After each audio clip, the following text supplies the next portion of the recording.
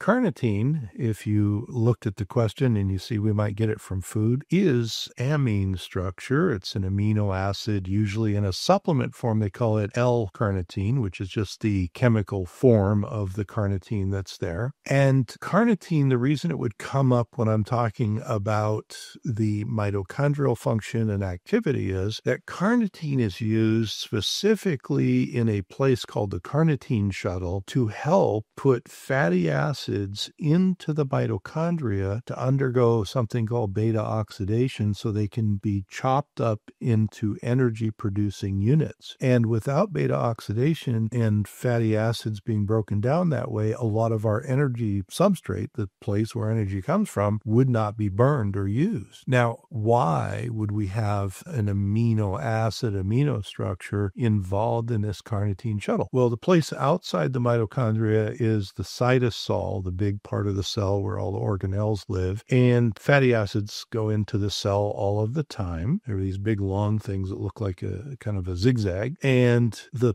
problem is we want to burn them in the mitochondria, for example. There's no natural diffusion or way that a fatty acid wants to go in the mitochondria. Now, our bodies evolving knew this, and so they set up a carnitine shuttle for fatty acids. So fatty acid comes by and it is grabbed through a three step process where carnitine is in the middle to hold the fatty acid and pull it into a place called CPT2, which puts the carnitine into the mitochondria mitochondria to burn it up in beta oxidation. Now, amino acids are often used as what they call a conjugate, where the carnitine is there and it comes up along my fatty acid here and adds to it, conjugates to it. So it sort of makes it a cumbersome molecule. What it does in that step, so that's in the carnitine acetyltransferase step, that then makes that molecule fall over to the CPT2 transporter and the fat gets stuck. It can't go back outside and then get shoved into the mitochondria to be burned up in beta oxidation to make energy. So why would I bring this up in mitochondrial talks? Is because mitochondria have a lot of carnitine. They use a lot of carnitine to feed fatty acids in. Now, there's other mechanisms for carbohydrate residues to go in that don't use carnitine, but we're talking about carnitine today. What could be a sign that we've used up a lot of carnitine? It could be fatigue. Now, when is a real common time that we would see fatigue related to carnitine being used up? And I want to make it clear, it doesn't mean there's no carnitine in your body. It just means that maybe you've used up what was available and you have to replace it. Well, the big area that can do that would be either exercise where the demand goes up, so you're pulling more fatty acids in. Another area is you switch your diet around. Maybe you're doing like a ketogenic diet or a low carbohydrate diet that's not ketogenic, but there's more fats available. And so you go from not burning as many fats to burning more fats. That's another reason because you're shoving more fats in there there. You're going to use up the carnitine. And then there's little combinations of all of the above. You go from being sedentary to working out more, and your, you know, muscle cells preferred energy, you know, for a lot of purposes would be burning fat. Well, maybe you've burned more fat, used up more carnitine. So then you say, well, where would I get carnitine in my diet if if I need more? Well, carnitine was named because it was originally found in meat. So carne, carnitine, and meat. Now, meat's not the only place that you can find it. And with the magic of the internet, you can look up plant sources of carnitine and you can certainly find those there. But in higher dense protein sources, especially animal proteins, that's one easy place to get more carnitine. As I said, there are some plant sources and you can just look up carnitine food sources and it will tell you more than you ever wanted to know on the internet about that. But then there's a couple related things to think about if you're going to supplement carnitine. So a lot of people, if they're like otherwise they're pretty healthy, but they're doing more working out or they've shifted their diet or something and they're feeling, you know, a little more fatigued, maybe recovery's a little slow, whatever. We will often therapeutically give them a carnitine supplement on top of their diet. And there are two forms. One is L-carnitine and one is acetyl L-carnitine or acetyl L-carnitine, same thing. And the difference is the absorption. So L-carnitine absorbs a little more poorly. Acetyl L-carnitine is a little bit easier trip in through the GI tract. And so if you are taking them and someone's recommending doses, for example, an L-carnitine dose at a thousand or 1500 milligrams might only need to be 500 to 700 milligrams for acetyl L-carnitine or maybe even less. Now, we use this a lot with people, usually give it to them in the morning, and that can help a lot with those things. Is there any cautions with carnitine? Well, generally, carnitine in, in your diet, no. Carnitine in supplements at low dose, no. If you take a lot of carnitine for a long period of time, meaning 2,500, 3,000 milligrams or higher, longer than a month or two, it can have a feedback mechanism towards your thyroid and it can slow your thyroid down. So, where we might give somebody who's very fatigued or they switch their diet and they're working out more, or whatever, we might give them a loading dose in the beginning of, say, an you know acetyl carnitine at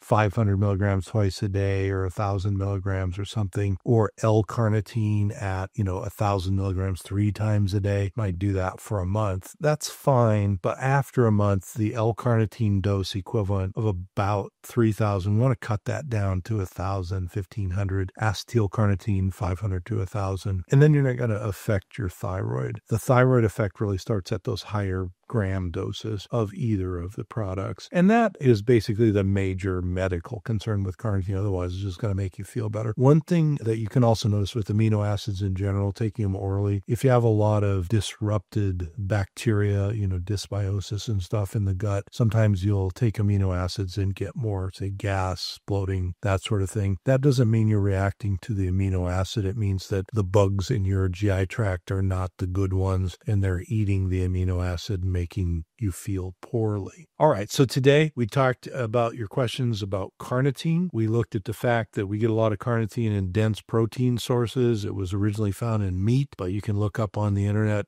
some uh, vegetable sources as well. Carnitine helps pull fats into the mitochondria to burn them and give us more energy. Carnitine gets depleted when we increase exercise or decrease carbohydrates in the diet, etc. And we can supplement it, which is generally very safe. But if you're looking at thousands of milligrams for long periods of time, the one medical issue that you want to watch for would be slowing your thyroid down, which obviously don't want to do that. But short term, higher doses are fine. Then we usually go to lower doses long term. All right, I'm Dr. A. I hope that answered the question that came in about carnitine. Thank you so much, everybody, for liking, sharing, and all the new subscribers, all the current subscriber group that we have. We just went over 100,000 subscribers. We're so thankful for that. We're going to post some other content up here you can take a look at. I'll see you all on the next video.